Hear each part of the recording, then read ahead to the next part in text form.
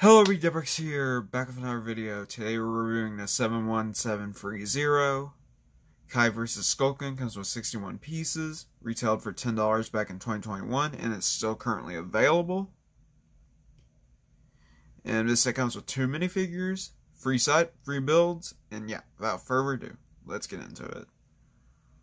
I should also mention that this plate right here that the minifigures are standing on did not come with a set and I'll be going with a little bit of backstory on this set too.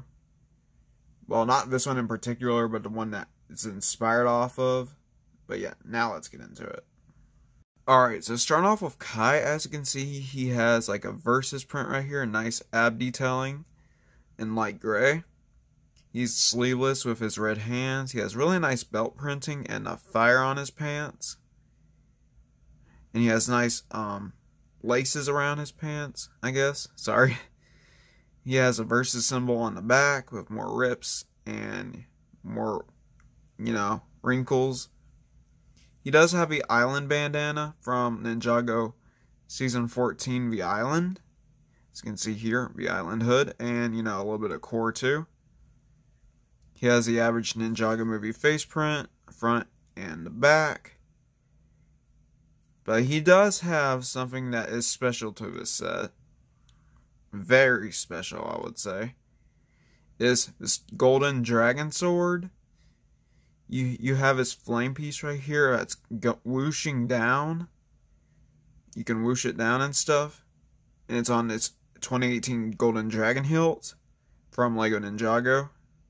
Hunted. But yeah, it's basically it. Let's move on to Skulkin. Alright, so with the Skulkin, as you can see here, he has the shoulder pads from the Stone Warriors, a new, ex not exclusive, but pretty rare face print, I would say. It only came in two sets. He has a pretty common blue loincloth with the skull design on it. He has a giant sword, and he has the old rice cap, and his face has really nice details. It's in light light gray and black and red for the eyes. then he he has an open mouth. I'll probably get the other one for comparison because like the other one had a closed mouth. This one has an open mouth. But yeah, other than that, it's just a basic skeleton. Sucks that they got rid of the old legs, honestly. But yeah, that's basically it for him. Let's move on to the builds.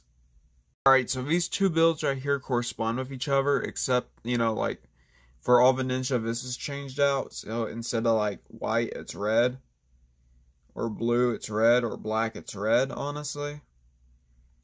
Then you have this little training dummy right here that you can spin by doing this.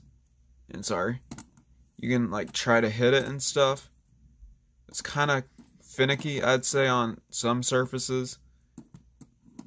But you're supposed to hit it and you're supposed to go back and forth back and forth there we go. Back and forth. And you get this nice spinning motion. This is in the same style as a monastery. Not the same style, but it's in a smaller style for compared to the monastery.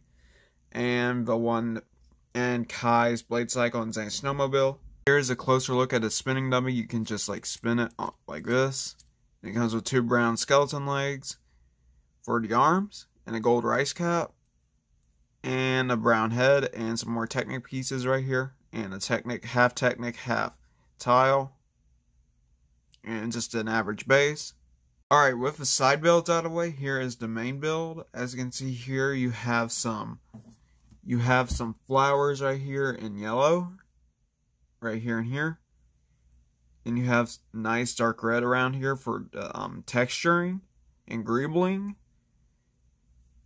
and you have nice stairs going up here, but there should be like something here that they should be at least fighting for. You could probably put like a sword of fire right there, or you can use one of these extra pieces that I'm not going to show in this video because like you all have probably seen it because this is a re-review.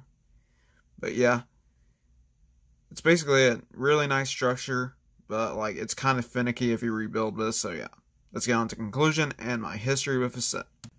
Alright everyone, so here's my history of the set. So this is kind of like my first ever Ninjago set, but not really, it's like a remake of it. I think it was called the Ninja Ambush, that was my first ever Ninjago set. Came with a Kai and came, came with the original Kai, Skulkin, and a bush build where the ninja can pop out of. It kind of reminds me of this, but not a whole lot.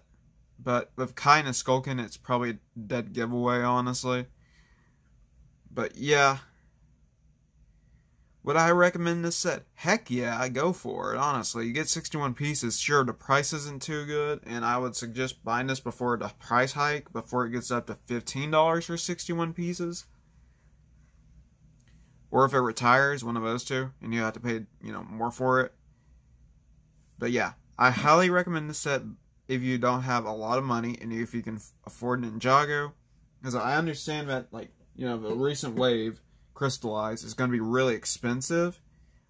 If you don't have this set, I'd say get it.